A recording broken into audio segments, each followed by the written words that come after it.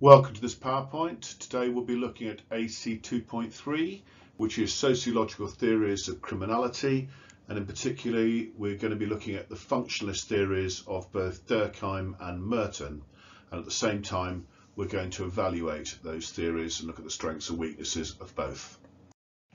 So let's introduce you to sociological theories. They basically hold that social factors play a part in crime. So um, nurture to some extent rather than nature.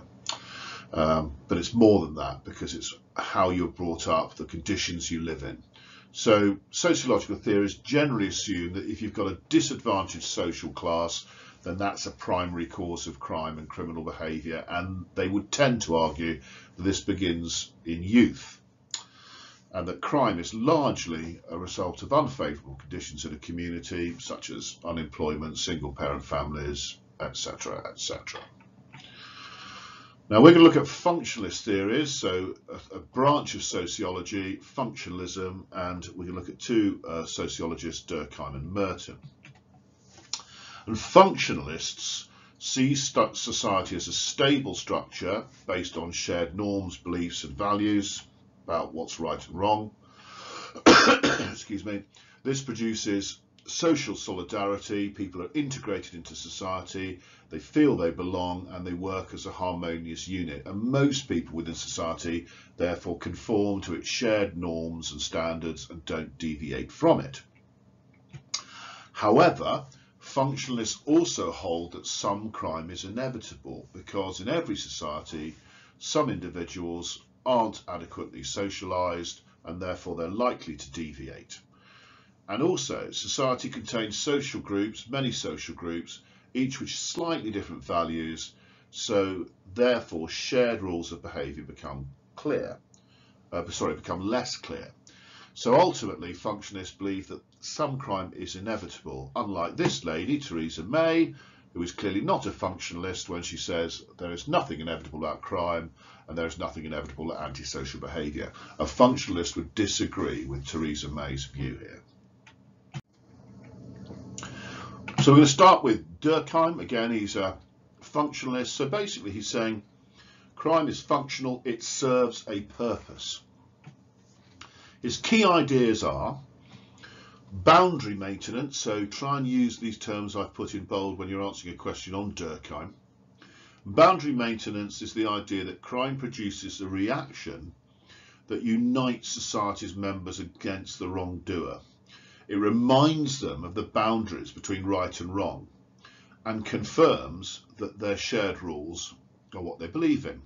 So if you think of an example of boundary maintenance, what could you come up with? You know, can pause here, have a think, and then I'm going to give you an example.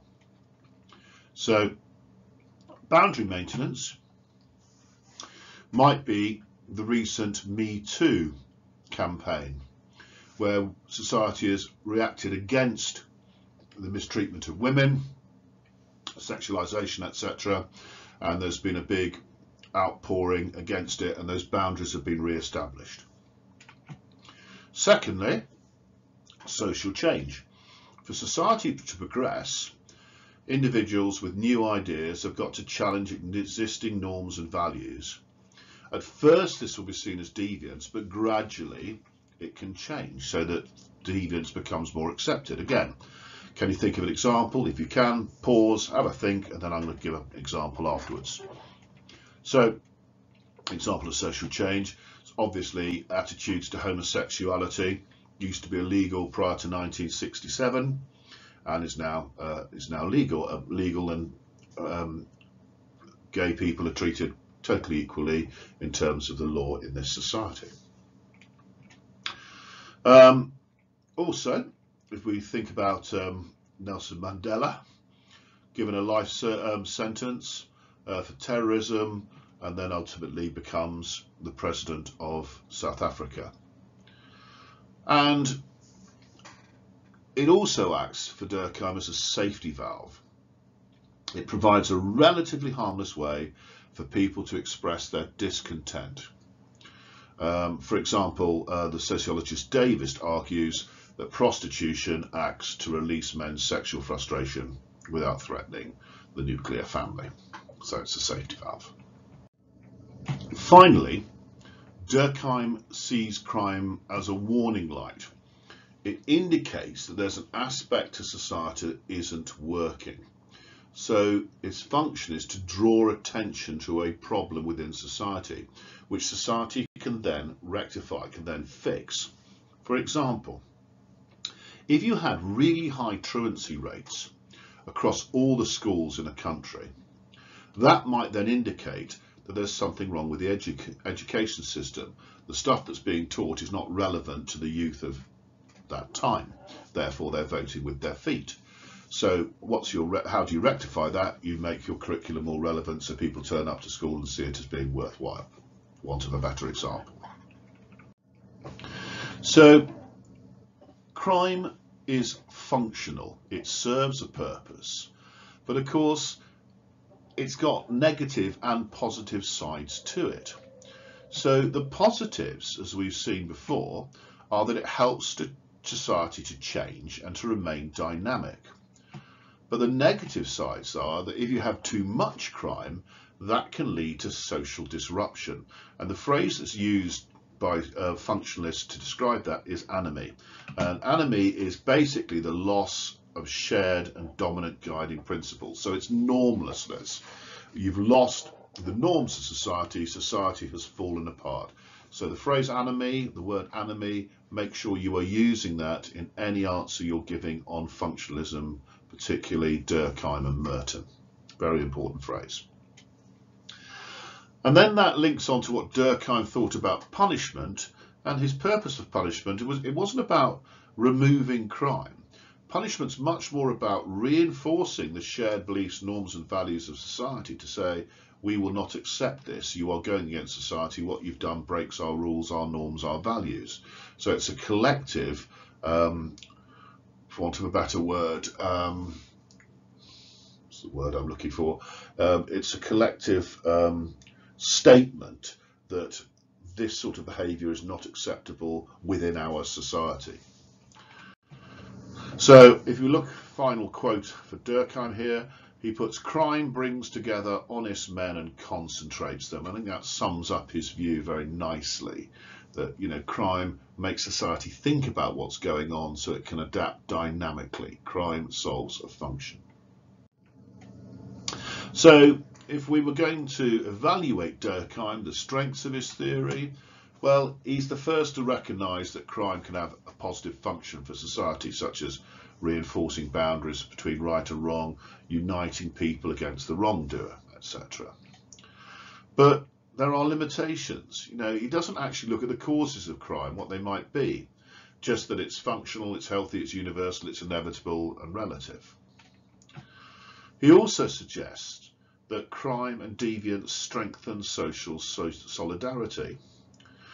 But he doesn't really think about how it can also isolate people, for instance, females, the elderly, who may fear leaving their homes because of fear of crime. So Durkheim doesn't really address that issue. He also argues that a certain amount of crime and deviance is healthy for society. Well, that's all very well and good, Durkheim, but he doesn't ever indicate how much is the right amount. You know, how much crime is healthy, how much crime is unhealthy. Come on, Durkheim, give us a quantity.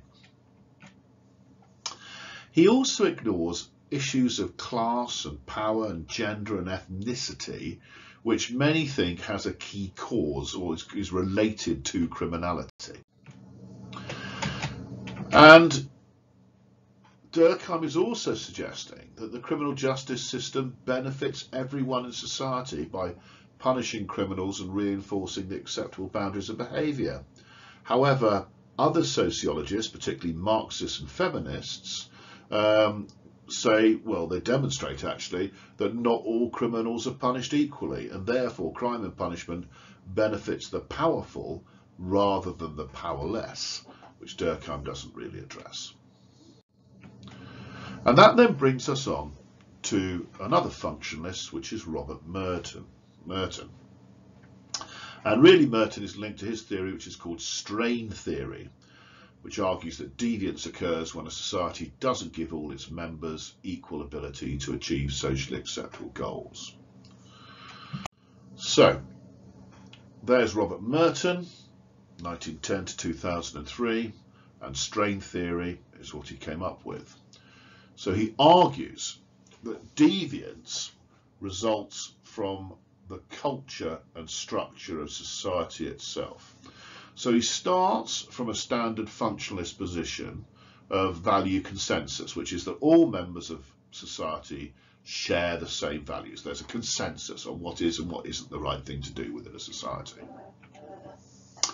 But then, according to Merton, culture, especially Western culture, then starts to put great importance to the value of things like competition and wealth and success.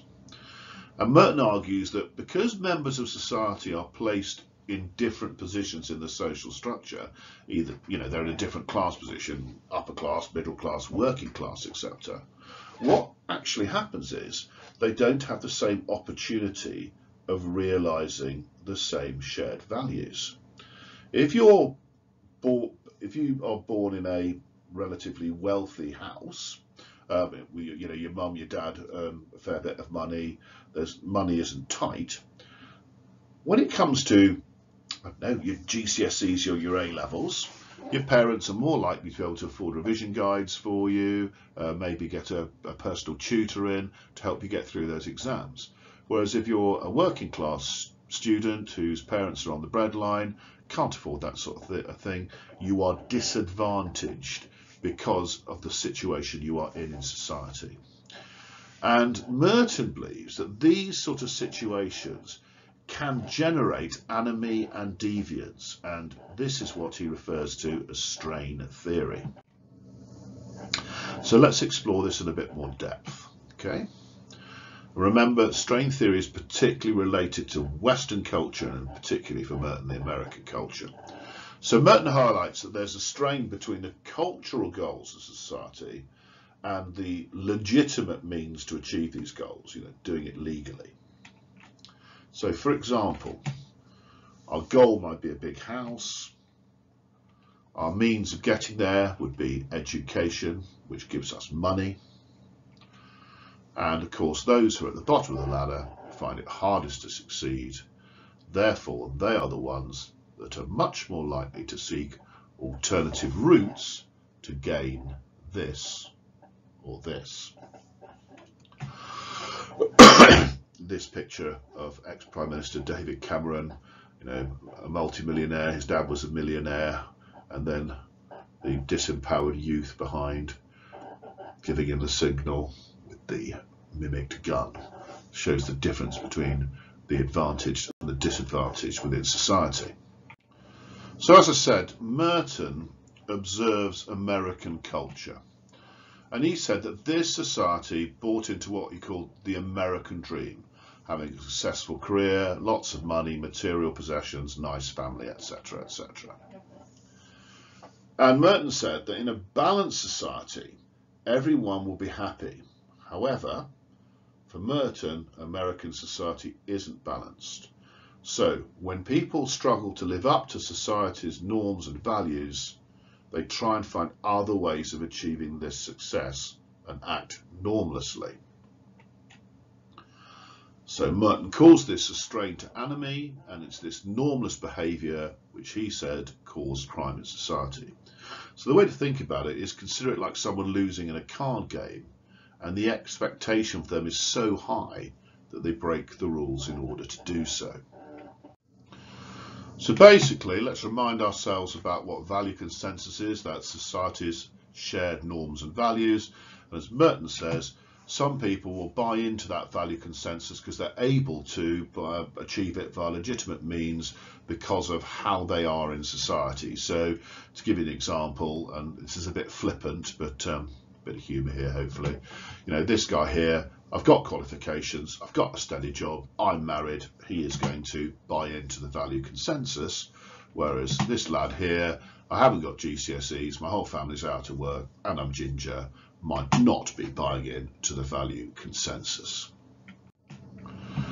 So Merton then goes on to identify five ways in which individuals may respond to the strain between goals and the means of achieving them in society. That's why it's called strain theory.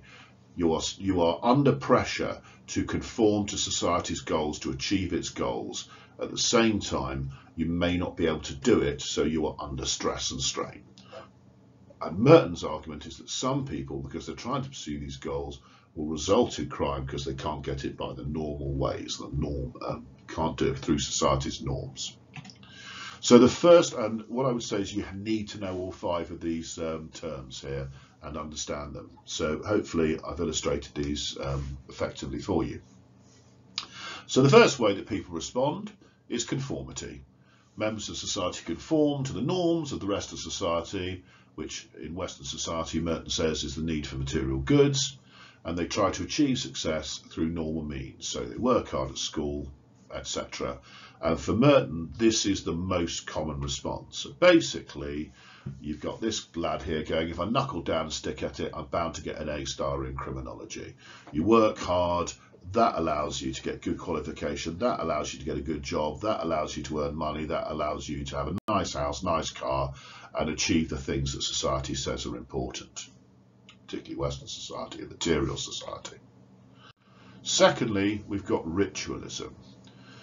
And ritualists reject the, goal, the goals that go along with the institutionalized means, such as work and school.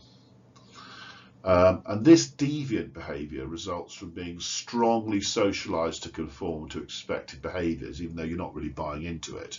So it's like this, really. You know, this uh, lovely character from um, Little Britain. You know, my job's doing my head in, and there's bills to be paid, but really you don't want to be there. But you conform because that's the accepted thing to do.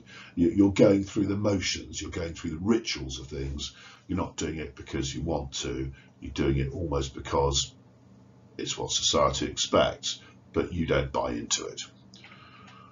So it's that choice, isn't it? A full-time boring job where I can chill for hours or full-time exhausting job where I can develop myself in a professional way. So um, they're going for the uh, full-time boring job where they just do the full-time boring job and that's it.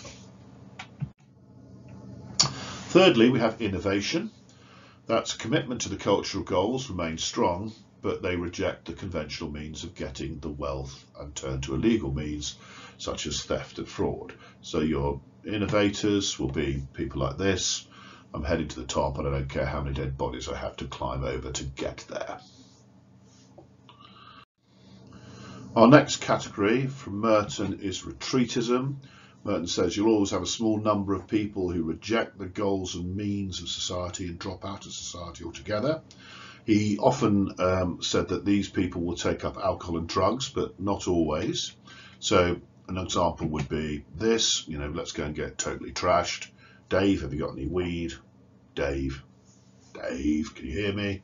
No, Dave can't hear you because he's completely trashed. Or alternatively, you know, you've got this idea of dropping out of society, you go off and live in a hippie commune far away from the societal norms. And finally, Merton proposes rebellion. Some people may rebel, try to replace those shared goals uh, and institutional means with much more radical alternatives and Merton says they'll often use violent methods to achieve this, so full-on anarchy. So workers of the world unite, you've got nothing to lose but your chains as these privileged white Americans for some reason riot. God knows why. But of course it's very important to take a selfie as you're doing it. So capitalism is without a doubt linked to Merton's strain theory. This idea that at the top, the super rich are doing very well, middle class not so bad, and the poor, of course, are falling through at the bottom. But of course, there's your American dream, make American proud, buy American, hire American capitalism, and I think that's a Women for Trump rally. But there you go, you can't have everything. Merton's highly critical of the driving social values in Western societies based on what he sees as competition and greed. And he suggests that this encourages individuals to break the law. So let's evaluate Merton. Starting with the strengths, well, he shows how both normal and deviant behaviour arises from the same goals. Conformists and innovators both pursue money success, but they do it by different means. One legal, another illegal. Merton explains the pattern shown in official statistics like these here. Most crime tends to be property crime because society values wealth so highly working class crime rates are higher because they have less opportunity to obtain wealth legitimately. And finally, just to look at the uh, limitations of Merton's theory, and for, we can argue that um, Merton ignores the crimes of the wealthy and also overpredicts the amount of working class crime, so that's a clear weakness. And he also sees deviance solely as an individual response, and that completely ignores group deviance, particularly that group deviance of um, delinquent subcultures, gangs, that sort of stuff. And finally, Merton focuses on utilitarian crime. In other words, uh, crime that's really about um, gaining money, uh, theft, etc. And it ignores crime, Merton ignores crime with no economic motive, such as vandalism. And he doesn't really explain um, how crimes with no economic motive link into his theory at all. So that's another weakness. So that concludes our um, presentation on Durkheim and Merton. Hope you found it useful and I'll see you soon for our next sociological theory. Take care. Goodbye.